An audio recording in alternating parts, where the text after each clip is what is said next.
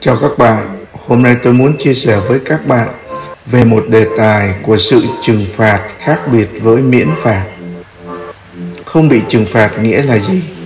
Mặc dù trong việc làm với trừng phạt liên quan đến việc vi phạm quy tắc, phạm lỗi hoặc phạm tội, bạn cũng có thể sử dụng từ này một cách lỏng lẻo hơn.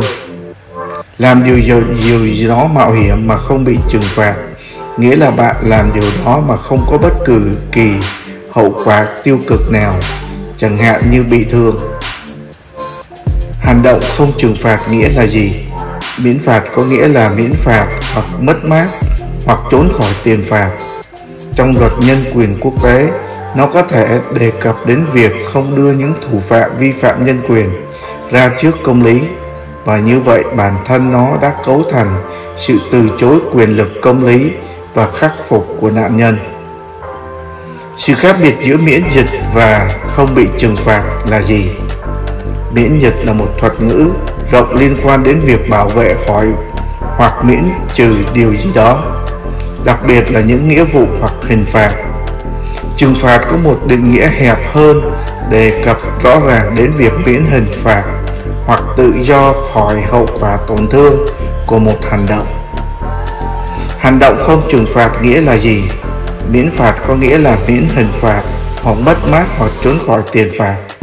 Trong luật nhân quyền quốc tế, nó đề cập đến việc không đưa ra những thủ phạm vi phạm nhân quyền ra trước công lý và như vậy bản thân nó đã cấu thành sự từ chối quyền lực, công lý và khắc phục của nạn nhân. Thiếu sự trừng phạt nghĩa là gì? Sự trừng phạt trong ngữ cảnh nhân quyền đề cập đến việc thiếu trách nhiệm phải trình đối với những vi phạm nhân quyền do các cơ quan của nhà nước gây ra hoặc được dung túng. Ngay cả trong sự vắng mặt của luật đó, các công tố viên đang thường miễn cưỡng trong việc truy tố và tòa án quốc gia là bất kỳ đắc dĩ để trừng phạt những người vi phạm nhân quyền. Nó có bị trừng phạt hay không bị trừng phạt không?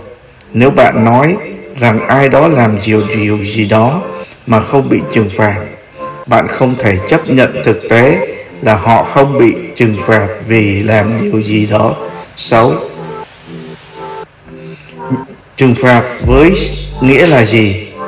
Nếu làm điều gì đó thường dẫn đến hình phạt, nhưng bạn làm điều đó mà không bị trừng phạt, bạn sẽ không bị trừng phạt vì hành vi đó. Một gốc cũng tạo từ đau do đó trừng phạt, tự là tự do khỏi sự trừng phạt hoặc đau đớn. Làm thế nào để bạn sử dụng từ trừng phạt? Không bị trừng phạt, ví dụ câu, thứ nhất, dù sao anh ta cũng không bị trừng phạt trước pháp luật. Thứ hai, ngày nay internet là một xã hội vô luật pháp, tin tặc có thể đột nhập vào máy tính với mức phạt tương đối. Thứ ba, các nguyên thủ quốc gia trước đây không bị trừng phạt cho những tội ác chống lại loài người. Nghĩa là gì? Là khi hành động không bị trừng phạt. Miễn phạt có nghĩa là miễn phạt hoặc mất mát hoặc trốn khỏi tiền phạt. Trong luật nhân quyền quốc tế, nó đề cập đến việc không đưa ra những thủ phạm vi phạm nhân quyền ra trước công lý và như vậy bản thân nó đã cấu thành sự từ chối quyền lực được công lý và khắc phục của nạn nhân. Bạn có thể phạm tội mà không bị trừng phạt không? Nếu làm điều gì đó thường dẫn đến hình phạt, nhưng bạn làm điều gì đó mà không bị trừng phạt, bạn sẽ không bị trừng phạt vì hành vi đó. Nếu ai đó đã thực hiện một hành vi phạm độ tội đáng bị trừng phạt, nhưng không phải sợ trừng phạt, thì người đó sẽ thực hiện hành vi đó tội phạm mang lại hoạt động không bị trừng phạt ở một số quốc gia. Có gì sai với khả năng miễn dịch của tiêu chuẩn?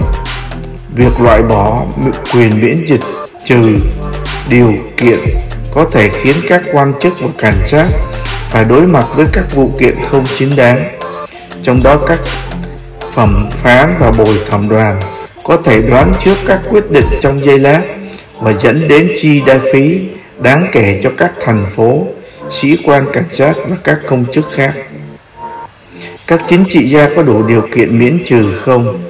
mặc dù quyền miễn trừ đủ điều kiện thường xuyên xuất hiện trong các trường hợp liên quan đến các sĩ quan cảnh sát nhưng nó cũng áp dụng cho hầu hết các quan chức thuộc nhánh hành pháp khác trong khi thẩm phán công tố viên các nhà lập pháp và một số quan chức chính phủ khác làm không nhận được sự miễn dịch có trình độ, hầu hết được bảo vệ bởi khác miễn dịch học thuyết. Không bị trừng phạt nghĩa là gì? Mặc dù những việc bạn làm với sự trừng phạt thường liên quan đến việc vi phạm quy tắc, phạm lỗi hoặc phạm tội, bạn cũng có thể sử dụng từ này một cách lỏng lẻo hơn.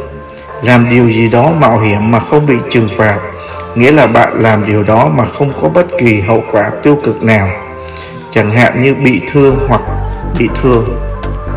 Nhớ subscribe hay đăng ký để xem video kế tiếp. Cảm ơn.